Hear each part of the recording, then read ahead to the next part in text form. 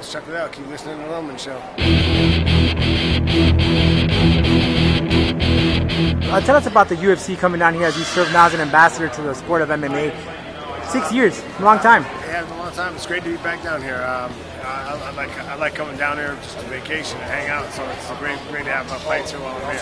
What has been the atmosphere so far? We saw a long line out there to meet you, Condit, and the other guys. Yeah, it's been uh, and the other guy. Guys, guys, I said. okay.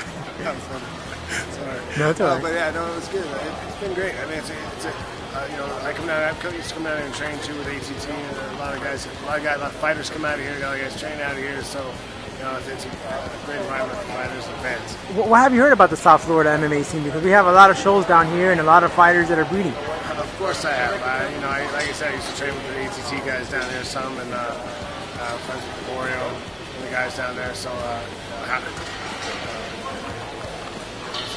Howard, Howard, Davis got a show down here now too, and he's a friend of mine.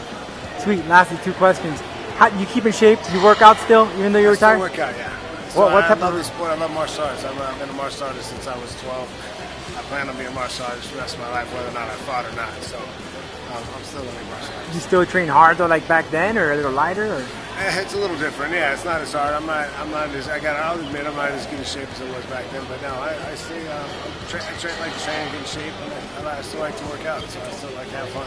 Lastly, what's the evolution of the sport? What's it going to take to one day be up there with mainstream and everyone talking about it?